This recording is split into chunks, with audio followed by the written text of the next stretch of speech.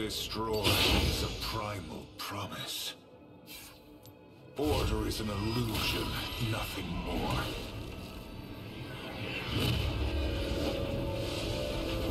more.